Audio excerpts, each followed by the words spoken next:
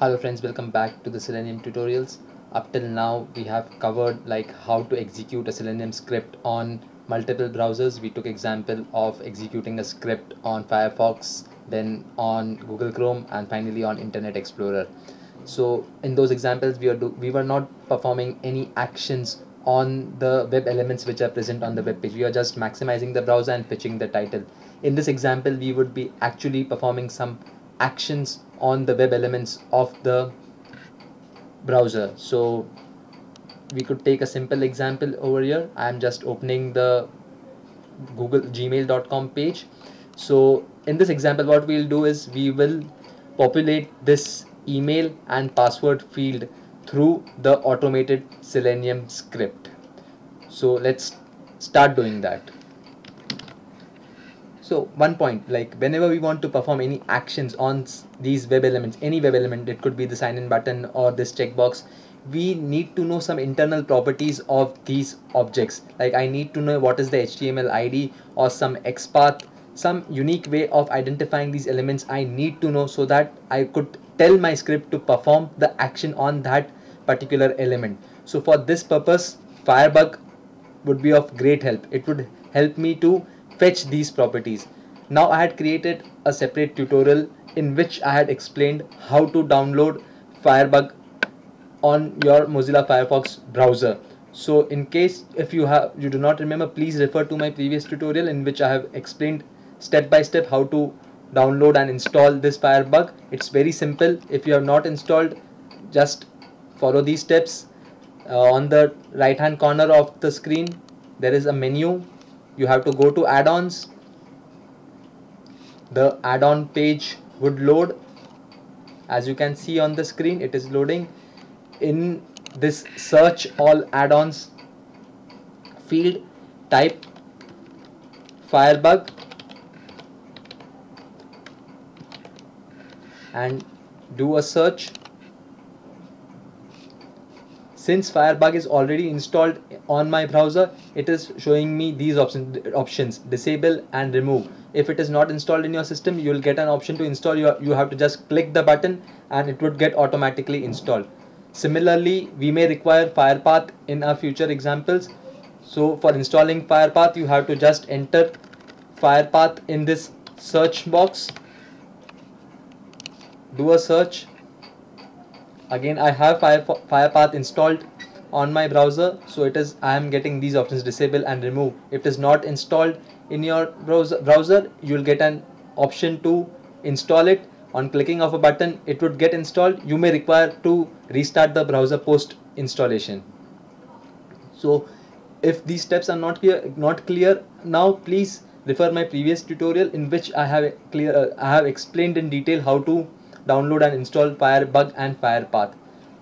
So let's go back to the page on which we need to perform operations. So I need to enter email ID in this email ID field and password in this field. So I need the internal properties of these two text boxes. So I will activate my Firebug. You could see on the top right hand corner I have clicked the Firebug icon and Firebug has loaded at the bottom of the page.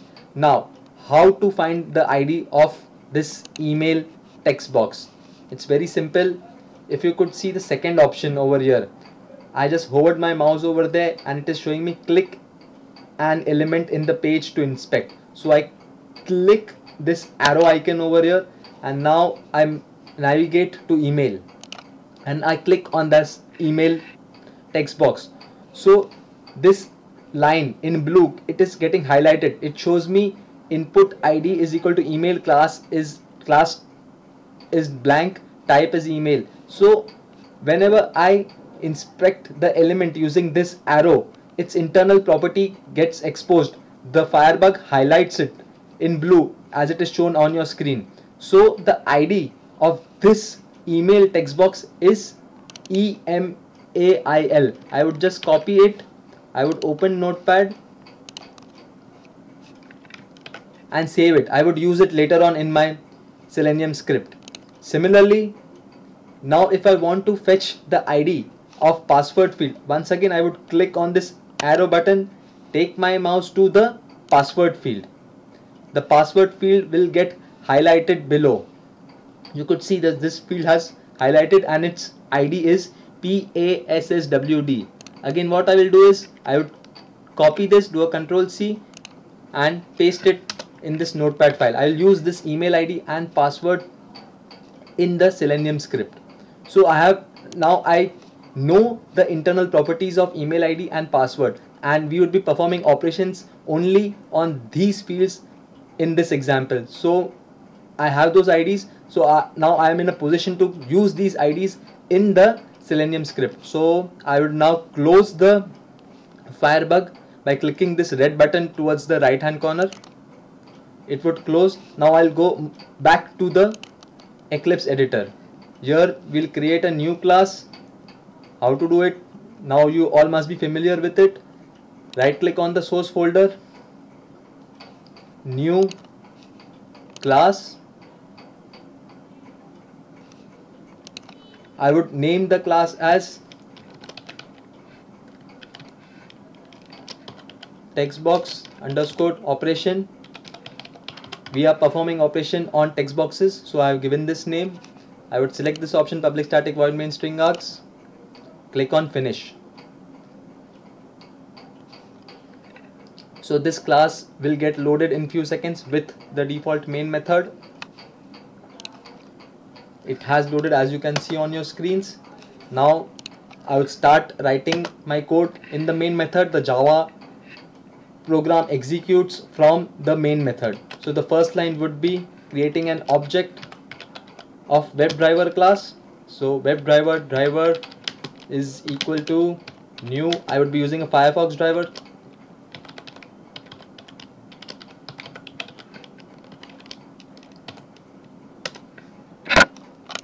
so you are familiar with these errors how to remove them just hover the mouse over there click on import WebDriver Similarly for Firefox, hover the mouse over there, click on import Firefox driver and the errors would get resolved. Now the next step would be I would be launching this time gmail.com. So the command is driver dot get we have used this command a number of times. In this case only the url would change. Earlier we used google.com in this example we would be using gmail.com so it is http www.gmail.com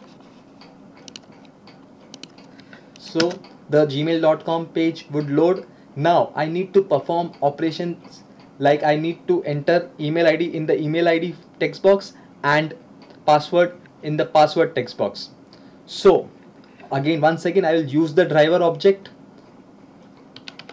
Driver dot. Now this method is very important. I need to tell my driver object that you have to perform the operation on email id field. So the method to do that is find element. So driver dot find it. I just typed fi and i got this option find element through the IntelliSense so i would just click on enter and within brackets i need to tell which element i which ele on which element I need to perform operation. So here I would be writing by dot when I do a dot I get a number of options. Since I have fetched the ID using the Firebug we had copied the IDs of these two text boxes in this notepad file. I had copied email which was the ID of email ID field and PASSWD which was the ID of password field. If you remember we had copied these two fields using the firebug. So here in the find element I would be using this ID. If I would have fetched some other property which I would be taking in my next example if I would have fetched xpath then I would have used by dot xpath. You could see this option. It is showing by xpath.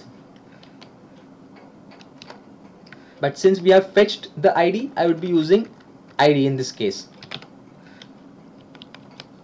So driver dot find element by id within this inner brackets I need to pass the id actual id which we had copied and pasted in this notepad file. So the actual id is email i would write email over here. Now we need to enter some email id in that field. So the method to do is to, to, to type that thing is dot send keys. If you could see I just typed SEN and the IntelliSense gave me send keys option.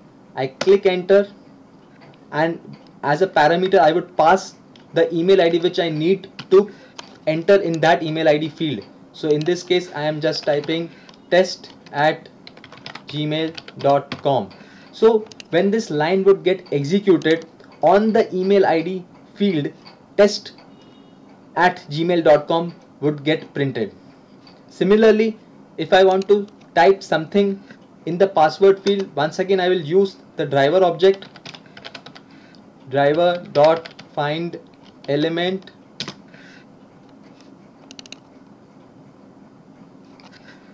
by once again I would use ID because we had fetched the ID of password field. So here I would enter the ID of password field which is PASSWD I had stored it. I am just copying it. And I would paste it in this field. Once again I would use the send keys method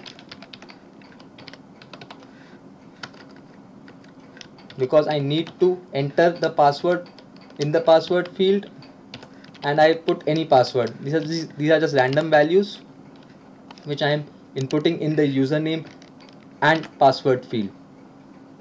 So my code is ready. The first line of this code would launch the Firefox browser. This would navigate to gmail.com.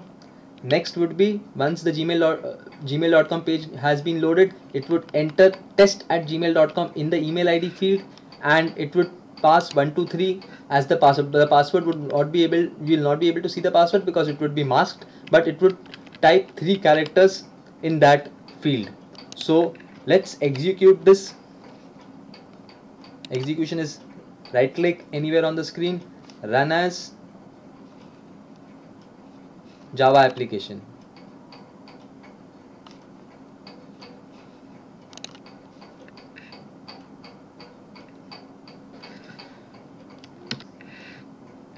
So as you can see the script has loaded gmail.com page. Next step is it would it is entering test at gmail.com in the email id field and it has entered three characters. Like we had passed one two three over there.